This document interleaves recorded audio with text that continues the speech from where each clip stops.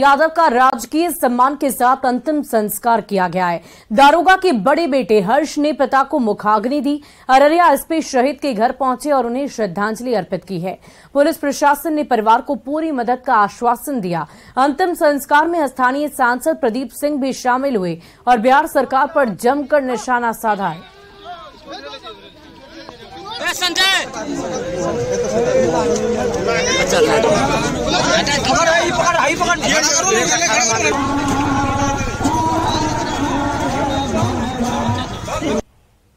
जमात थे। कर्तव्य की निष्ठ थे।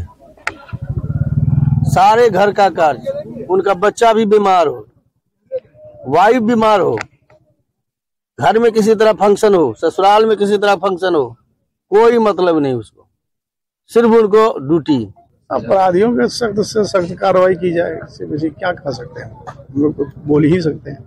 लेकिन प्रशासन भी लगी हुई कल हमको एसपी साहब समस्तीपुर से लगा के बहुत वो एक्शन लिए हुए हैं। बड़ा ही हृदय विदारक और दुखदाई है यह।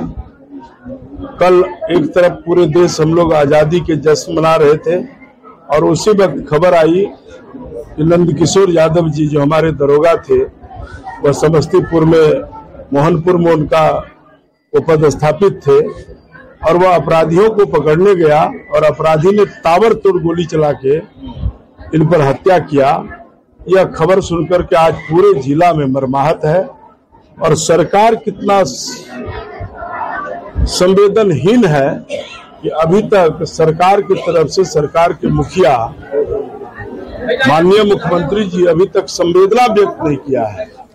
और अगली खबर आपको भोजपुर से बता दें, जहाँ शहीद गौतम कुमार का पार्थिव शरीर शाहपुर थाना क्षेत्र के रंडाडीह गाँव में पहुँचा। गाँव में शव पहुँचते ही पूरा माहौल गमगीन हो गया।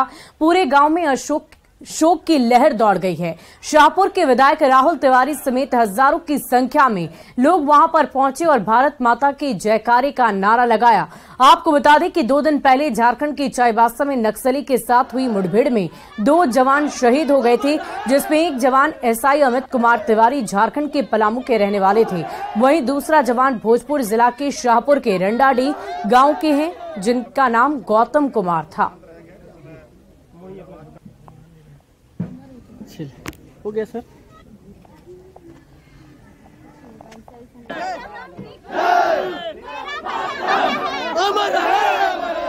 मेरा भैया अमर रहे बोलेंगे तो शान से मरना चाहता था समस्तीपुर में थानाध्यक्ष की गोली मारकर हत्या किए जाने पर बिहार विधानसभा के नेता प्रतिपक्ष विजय सिन्हा ने नीतीश सरकार पर हमला बोला है। विजय सिन्हा ने कड़ी टिप्पणी करते हुए कहा कि बिहार में अपराधियों ने गुंडा राज को साबित कर दिया है जिसे मुख्यमंत्री जनता राज कहते हैं, स्वतंत्रता दिवस पर जहाँ पूरा देश अमृतकाल उत्सव मना रहा था, उस दिन बिहार में गुंडों का उत्सव चल रहा था। समस्तीपुर के अंदर जो घटना घटित हुआ है समस्तीपुर में उस दरोगे की हत्या बिहार के जंगल राज जिसको मुख्यमंत्री जनता राज कहते हैं ये गुंडा राज को साबित कर दिया। स्वतंत्रता दिवस पर जहाँ भारत अमृत महोत्सव काल का ये पावन अवसर पर पूरा देश उत्सव मना रहा था। बिहार में गुंडों का उत्सव चल रहा था। जो देश की रक्षा, समाज की रक्षा हमारे पुलिस के जवान कर रहे हैं, वो डरे सहमे हैं, उसकी हत्या कर देता है।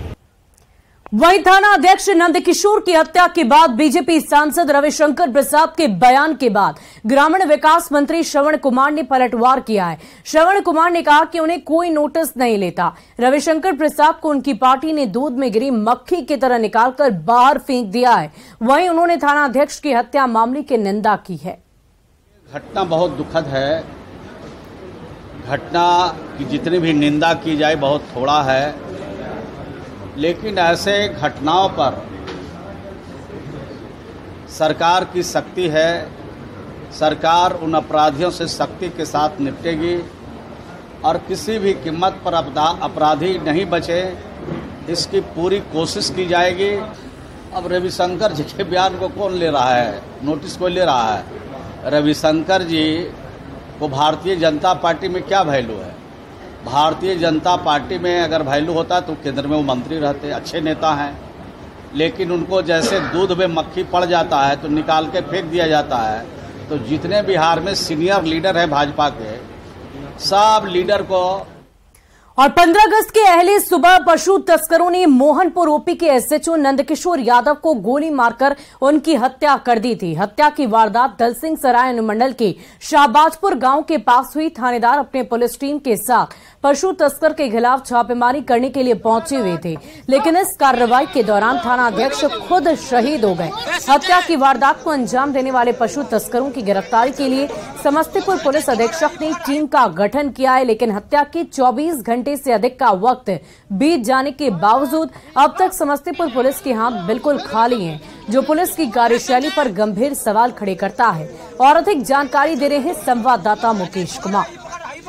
समस्तीपुर के मोहनपुर ओपी के एसएचओ नंद किशोर यादव के पशु तस्करों के द्वारा गोली मारकर हत्या कर दी गई थी, जिसके 24 घंटे से अधिक का वक्त हो गया है, लेकिन अब तक इस मामले में हत्यारे की गिरफ्तारी नहीं हो पाई है। हालाँकि इस मामले में समस्तीपुर पुलिस अधीक्षक के द्वारा ये बताया गया था कि नंद किशोर यादव, जिनकी हत्या हुई, अपने कर्तव्य पथ पर शहीद हुए, उनके द्वारा उस पशु तस्कर गिरोह की पहले पहचान की गई थी, जो नालंदा का गिरोह था और उसके बाद लगातार उस पर कार्रवाई भी की जा रही थी। और नंद किशोर यादव जो शहीद हुए, उनके द्वारा पशु तस्कर के चंगुल से कई पशु को मुक्त भी कराया गया था और उनके द्वारा गिरफ्तारी भी की गई थी।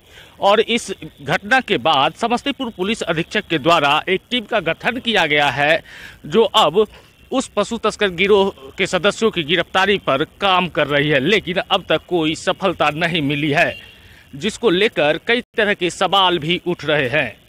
अब देखने वाली बात होगी कि इस पूरे मामले पर कब तक समस्तीपुर पुलिस के द्वारा उन हत्यारों को गिरफ़्तार किया जाता है। Mukesh Kumar news eighteen network Samastipur. वहीं स्वतंत्रता दिवस के दिन लोगों ने जमकर जश्न मनाया। बक्सर में फायर ब्रिगेड के पुलिसकर्मियों ने भी स्वतंत्रता दिवस का जश्न मनाया है। सभी पुलिसकर्मी भोजपुरी गाने पर जमकर नाचते, झूमते नज़र आए।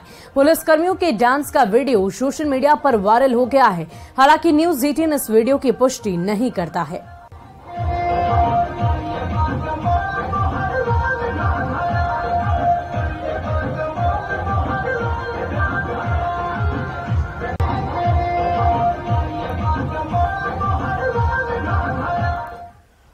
खबर गया से जहाँ चंदौती में बर्थडे पार्टी में फायरिंग का वीडियो सामने आया है। बर्थडे बॉय ने फायरिंग का वीडियो बनाकर अपने सोशल मीडिया पर डाला, जिसके बाद वो काफ़ी तेज़ी से वायरल हो गया। वीडियो में देखा जा सकता है कि देर रात केक काटने के बाद युवक अपने दोस्तों के साथ हवाई फायरिंग कर रहा है। सोशल मीडिया पर यह वीडियो बड़ी तेज़ी से वायरल हुआ। न्यूज़ एटीन इस वायरल वीडियो की पुष्टि नहीं करता है।